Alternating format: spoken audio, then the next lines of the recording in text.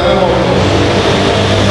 Primero, declara culpable a Gregory Manuel Sánchez de violación a los artículos 2, 319, 382 del Código Penal Dominicano, un perjuicio de alerta Segundo, condena a Gregory Manuel Sánchez a cumplir una pena de 6 años de reclusión en el Centro de Corrección y Rehabilitación de Víctor Álvarez y al pago de las cuotas civiles.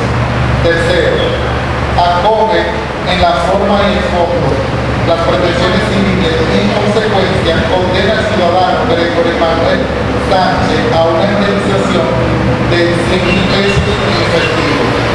Cuarto, hiciera la lectura de la presente decisión para el día 25 de septiembre del año 2018 a las 2 de la tarde. Quinto, las partes que no estén conformes con esta decisión tienen 20 días hábiles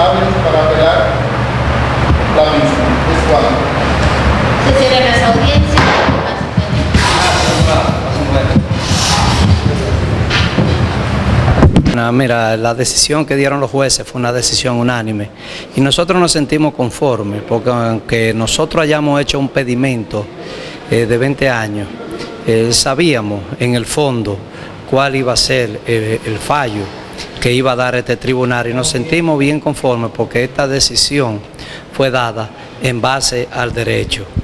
No estoy de acuerdo.